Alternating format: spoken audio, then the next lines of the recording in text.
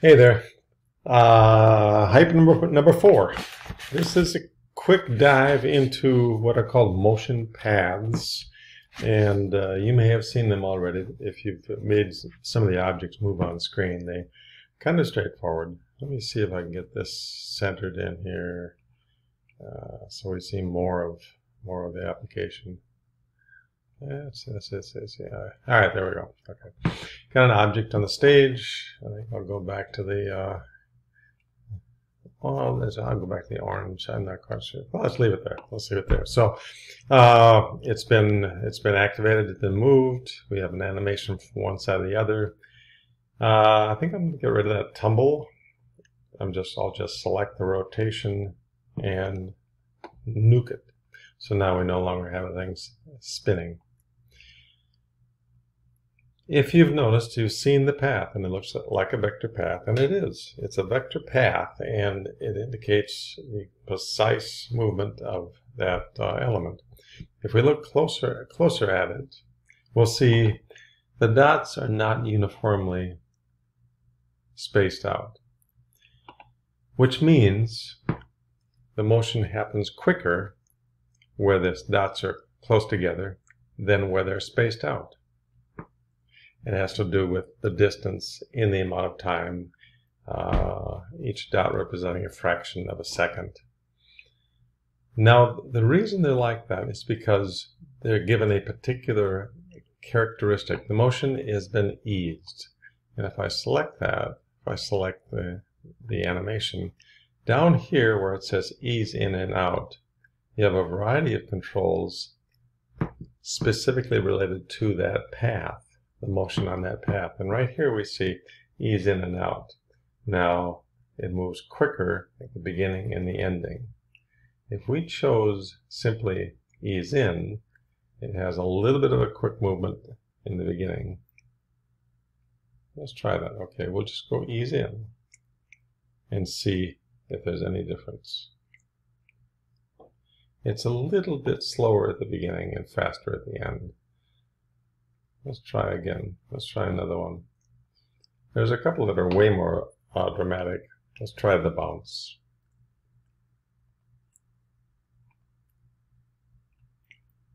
That's exactly what exactly what we see in that uh, in the diagram here.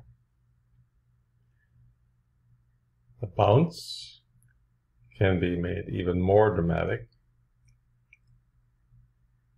and you can add points to them if you need to. Let's try that.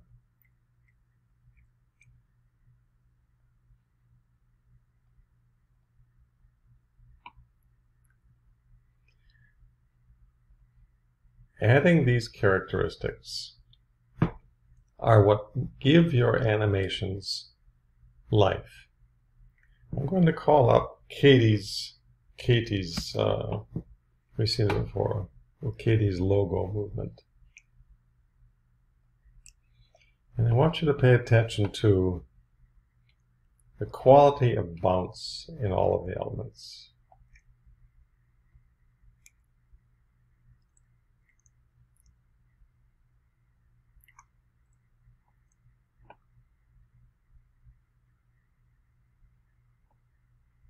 There's a couple of elements on the stage here that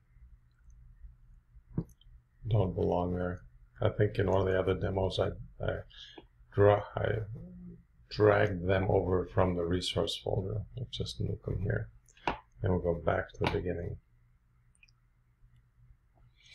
So you see they have that gentle little bounce. It gives it life. It makes it a little more natural. And it's all accomplished by applying particular eases to the timelines or to the animations. Let's open this up a little bit and we'll see.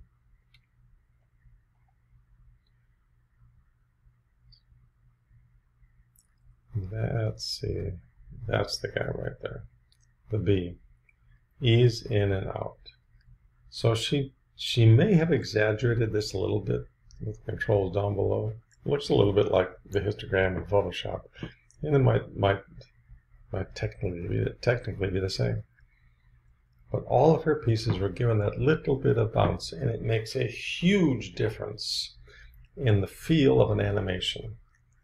And truthfully, truthfully, the masters of this are able to make things so comfortable to look at that it doesn't bother you that they're trying to sell you something. But being able to humanize the act, the actions is a real plus for your animations. We've all been irritated by GIFs that move too fast or animations that move too fast. And that all happens in that easing control. Let's see what we've got here. Ease in and ease out. I'll try and I'll try and speed that up a little bit just with the controls here. So I've got ease in and ease out. What if we do this?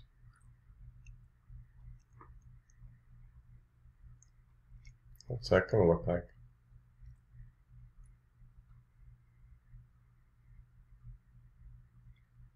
Way different, way different. And you have, and you've got opportunities to make changes to all of these. If you don't like any of them, just pull it back to, pull it back to instant. Let's see what that does.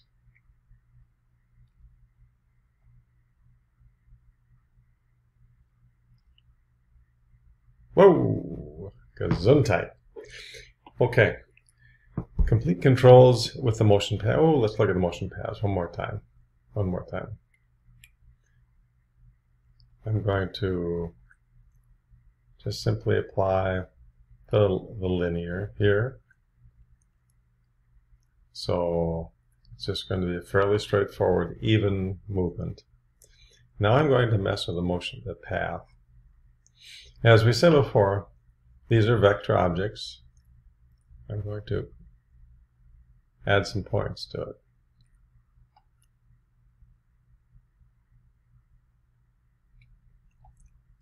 And handles are familiar to us. This is the final. Pull that down here. And the motion is exactly what it looks like. It's going to loop down and then it's going to loop up. And I think I'll take that point and move it up there.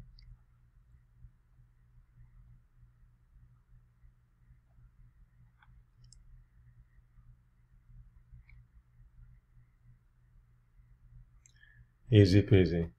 The motion path identifies the movement of the, of the element at the beginning and the end of the animation. All of the dots, all of the points that you put on they're not reflected in the properties because they're really not changes in animation. Changes to the path are not changes to the element. Anytime you change the element along this path, say right there I wanted to change the opacity. Oh, let's see, we would have to record that one because there wasn't any existing, there wasn't any existing opacity, opacity applied to it record this, pull it into halfway through, change the opacity down to here, and there's the opacity. So we see under the properties, under the properties menu, three different keyframes for opacity were set. I'll stop the recording, go back to the middle, and in this instance, changes to the elements happen, but not to the path it's really, really pretty fun to be able to make things move from outside the stage onto the stage, and you can you can affect that with the motion paths.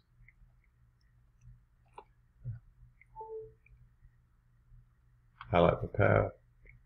I'll bring this up here.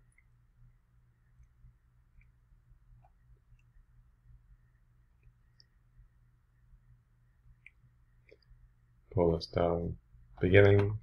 I'm going to select,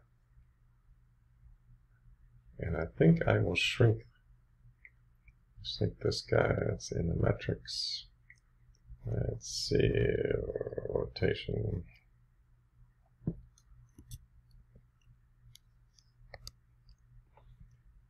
Now, it's going to stay that big throughout the animation because I did not record record that. Remember, changes to the elements have to be recorded. Changes to the paths are not. So I'm going to hit record. Then I'll move this down to the end. And I'll just, I'll say, where's my scale? 100.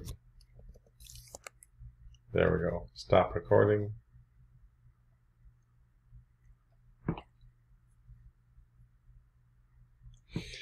Endless, endless, endless. So, motion paths are flexible, do not impact elements. Elements are changed in the inspector panel, and all of them are animatable. Good stuff. Uh, we'll get farther farther into it and into the next uh, next video. Thanks for watching.